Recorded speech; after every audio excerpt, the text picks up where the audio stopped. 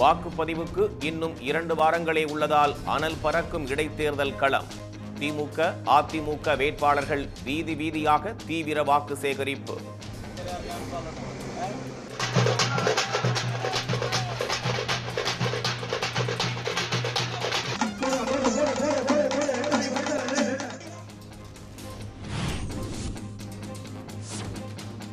ஈரோடு கிழக்கு இடைத்தேர்தலில் முன்னாள் இந்நாள் அமைச்சர்கள் பரப்புரை. முறுக்கு விற்றும் இட்லி சுட்டுக் கொடுத்தும் நூதன முறையில் வாக்கு சேகரிப்பு.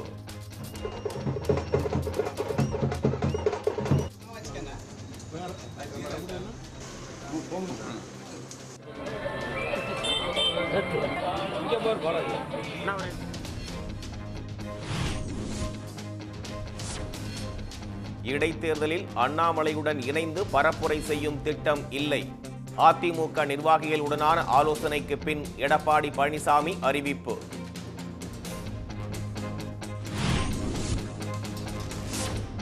திருவண்ணாமலை சுற்றுவட்டாரத்தில் அடுத்தடுத்து நான்கு ஏடிஎம்களில் பணம் கொள்ளை போன சம்பவம். தமிழ்நாடு முழுவதும் சோதனை சாவடிகள் அமைத்து போலீசார் விடிய விடிய வாகன தணிக்கை.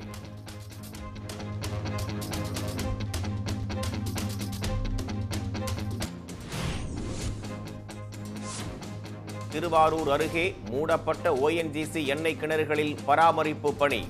ஹைட்ரோ கார்பன் ஆய்வு பணிகளா என விவசாயிகள் அச்சம்.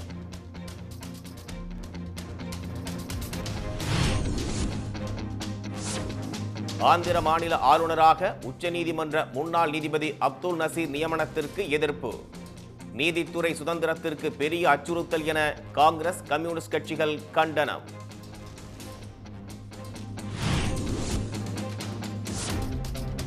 பெங்களூரில் இன்று தொடங்குகிறது சர்வதேச விமான கண்காட்சி.